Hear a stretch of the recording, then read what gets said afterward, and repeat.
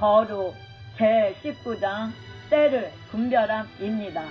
돈, 나일. 그들은 때를 잘 분간할 줄 알고 사울이 죽자 일부 이스라엘 지파는 누구를 왕으로 섬겨야 할지 몰라 눈치만 보고 있었습니다. 다윗을 왕으로 추대하는 사람 중에는 특히 이사갈 지파의 자손이 많았습니다. 성령님은 특별히 이들을 칭찬하고 계십니다.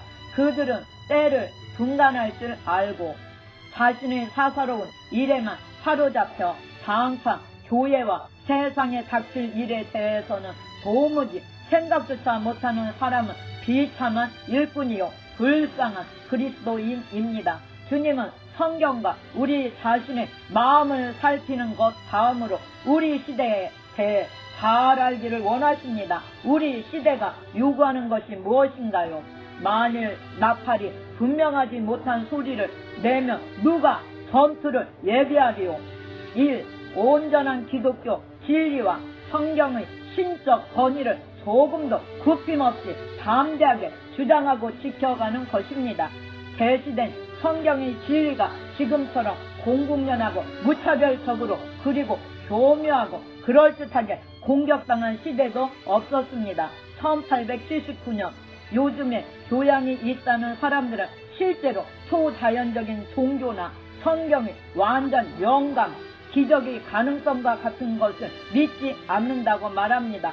이 모든 일은 너무나 교묘하게 진행되기 때문에 이들의 태도는 솔직하고 오히려 관대하다는 인상마저 줍니다. 더구나 이들이 인간 본성의 능력과 고귀함을 강조하는 바람에 경과하지 못한 신앙을 가진 그리스도인들은 이리저리 휩쓸리고 있습니다. 아담과 하와가 타락한 이래로 마귀는 끊임없이 사람을 미혹하여 하나님을 믿지 못하게 했고 믿지 않아도 너는 죽지 않을 것이다 라고 말해 왔습니다. 황소가 하나님의 방주를 흔드는 것처럼 보이지만 하나님의 방주는 전혀 위험하지 않습니다. 이들의 주장은 연약한 피사람들을 위협하기에 충분하지만 이들이 평생 노력해 봐야 이집트를 여행하는 한간 여행자가 거대한 피라미드에 자기 이름을 긁어놓은 것에 지나지 않습니다. 해외주의자들과 믿음 없는 자들이 무슨 말을 할지라도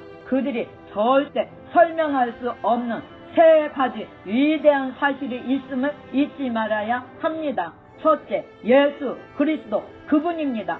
예수님께서 역사적으로 실존하셨다는 사실을 그들은 결코 부정할 수 없습니다. 그러나 믿음이 없는 사람은 예수 그리스도의 존재를 설명할 수 없습니다. 계시 종교의 위대한 근본 원리로만 이것을 설명할 수 있습니다. 둘째, 성경 자체입니다. 성경 저자들이 살던 시대는 각기 달라 사전 조율도 할 수 없었고 그들은 로마 사람들과는 달리 문학적으로 대단할 것이 없던 나라 사람들이었습니다. 그들이 기록한 책이 어떻게 이토록 고유하고도 독보적인 자리를 차지하고 있는 것일까요? 이 책이 하나님께서 기록하신 초자연적인 책이라고 믿는 사람만이 설명할 수 있습니다. 셋째, 기독교가 이 세상에 미친 영향입니다. 기독교가 뿌리 내리기 전의 세상과 뿌리 내린 후의 세상의 고덕적 차이는 밤과 낮이 다른 것 같이 다르다는 것을 잘 알 것입니다. 세계의 지도를 보면서 그리스도인이 많은 나라와 그렇지 않은 나라가 빛과 어둠만큼이나 다르다는 사실을 부정하는 사람들은 이 사실을 어떻게 설명할 것인가요? 기독교가 세상에서 유일한 하나님의 계시 종교라고 믿는 우리만이 설명할 수 있습니다. 불신앙이 만연해 가는 모습을 보고 위축될 때마다 이 세 가지 사실을 기억하고 두려움을 몰아내십시오. 이, 이 시대는 우리에게 기독교 교리에 대한 분명하고 확고한 견해를 요구합니다. 19세기 교회가 불신자와 회의주의자로 인해 외부적으로 큰 손상을 입은 것만큼이나 내부적으로도 교리 문제에 대한 아니하고 불분명한 대처로 큰 타격을 입었습니다. 오늘날 기독교 신앙을 고백하는 수많은 사람들도 마치 생명과 같아서 무엇이 참되고 무엇이 바르고 그런지 분별할 능력이 없습니다.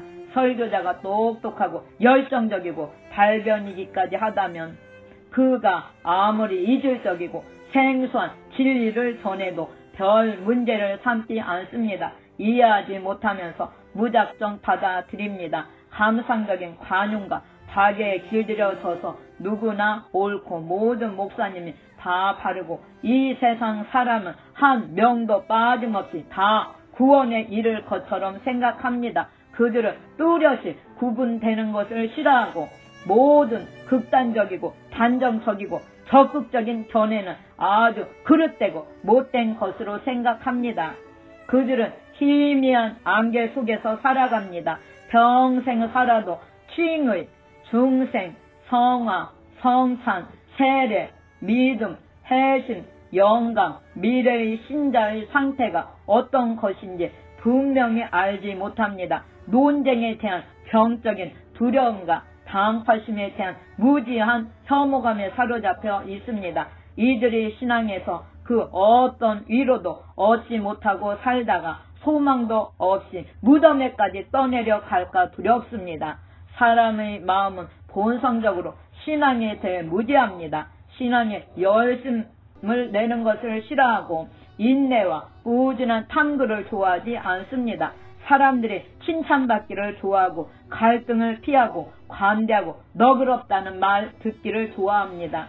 신앙에 있어서 우유부단하고 꿈을 거리는 마음의 상태를 조심하세요. 어둠 속을 배회하는 패스트같이 급작스럽게 덮쳐서 멸망에 이르게 합니다. 자기 영혼을 위해서라도 여러분이 믿는 바대로 결심하고 진리와 오류에 대해 적극적이고 뚜렷한 견해를 가지세요. 교리적으로 분명한 견해를 갖는 것을 두려워 마세요. 어디나 기독교의 승리가 울려 퍼지는 곳에는 분명한 교리와 신학이 있었습니다. 분명한 교리가 없는 기독교는 무기력할 따름입니다. 사람이 보기에는 아름답게 보일 수 있지만 사실 이런 기독교는 불모지에 불과합니다. 만약 우리가 선을 행하고 세상을 흔들어 깨우기를 바란다면 저 옛날 사도들이 싸웠던 무기로 싸우고 교리를 고수해야 합니다. 교리가 없이는 열매도 없습니다. 사도 시대의 이교도 사원을 덩비게 하고 그리스와 로마를 뒤흔들었던 것은 교리였습니다. 종교개혁 시대에 기독교 세계를 깊은 잠에서 흔들어 깨우고 교황을 따르는 사람의 3분의 1을 돌아오게 한 것도 교리였습니다. 100년 전 히필드, 웨슬리, 벤, 로메인이 사역했던 시대에 영국 교회를 부흥시키고 꺼져가던 기독교를 다시 활활 타오르게 했던 것도 교리였습니다. 여리고 성에 울려 퍼진 나팔 소리처럼 죄와 마귀의 대적을 물리친 것도 분명한 소리로 울리는 교리였습니다. 3. 이 시대는 우리에게 비성경적이고 영혼을 파멸로 이끄는 로마 카톨릭의 특징을 분명하고도 생생하게 자각할 것을 요구하고 있습니다. 로마 카톨릭을 싫어했던 옛날 영국 신자에게 있었던 개신교에 대한 분명하고 예리한 의식이 묘되어지고 둔해졌습니다. 이들 가운데는 오히려 개신교의 문제점을 지적하면서 카톨릭이나 다를 것이 없다고 말하는 이도 있습니다. 사람들이 정서가 달라진 이유를 찾는 것은 어렵지 않습니다. 1. 로마 카톨릭을 지칠 줄 모르는 열심도 한몫했습니다. 2. 성공에 대해서 예식을 고수하고자 하는 사람들도 기여했습니다. 사람들은 점점 로마 카톨릭을 독특한 가르침과 의식, 미사, 파체선, 고해 성사, 성직주의, 수도원, 제도, 허영의 산, 공예배 등에 익숙해진 나머지 드러나는 엄청난 위험마저도 대수롭지 않게 여깁니다. 3. 오늘날 만연하는 인위적이고 거짓된 관대함도 로마 카톨릭의 약진을 거들었습니다. 오늘날 많은 이들이 모든 종교는 동등하고 같은 호감과 존경으로 대해야 한다는 것이 대세입니다. 특히 동료 목사님들에게 경고합니다. 교묘하게 또는 드러내놓고 로마 카톨릭으로 이끄는 모든 종교적 가르침을 조심하세요. 종교 개혁이 얼마나 복된 것이었는지 점점 잊게 하는 세태를 거부하세요. 성경을 읽고 성경이 말하는 바를 듣게 하세요. 성경을 읽는 평신도야말로 이 나라를 오류로부터 지켜내는 가장 견고한 요새입니다. 여러분은 성경과 신조 외에 교회사도 읽어서 로마 카톨릭이 과거에 어떤 일을 자행했는지 알아야 합니다. 영국과 미국이 부강한 나라가 된 이유는 누구나 자유롭게 성경을 읽을 수 있고 종교 개혁의 원리가 있는 개신교 때문입니다.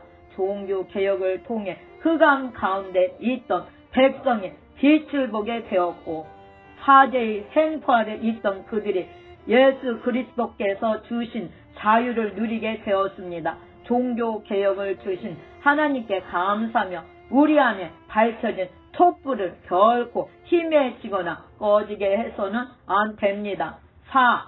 이 시대는 더 높은 수준의 개인적인 거룩을 요구하고 있을 뿐 아니라 일상에서의 실천적 신앙에 더 관심을 기울이라고 요청하고 있습니다. 종교개혁 이래로 오늘날처럼 삶이 아닌 입으로만 신앙을 고백하고 하나님과 동행하지 않으면서 하나님에 대한 무수한 말을 늘어놓고 하나님의 말씀을 행하지는 않으면서 듣기는 많이 하는 때도 없었을 것입니다. 알맹이 없는 형식주의가 오늘날처럼 만연한 적도 없었습니다. 그리스도인에게 합당한 고견, 행동, 양식은 오히려 퇴보하고 타락했습니다. 이런 일에 빠져 있는 젊은 교인을 최근이라도 하려고 하면 시대에 뒤떨어진 편협한 사람처럼 생각합니다. 부주의함과 방탕함과 경솔함이 자라나는 세대의 신앙 고백자들에게 나타나는 일반적인 특징입니다. 현대 기독교는 능력이 없고 그리스도의 참된 교회는 이전처럼 세상을 뒤흔들지 못하고 있다는 탄식이 많이 들립니다. 그 이유는 신자의 삶의 수준이 너무 낮아졌을 뿐 아니라 그것이 아예 기독교 전반의 현상이 되었기 때문입니다. 오늘날 신자의 수가 예전 수보다 훨씬 많기는 하지만 정작 기독교적 실천의 표준은 현저히 낮아졌습니다.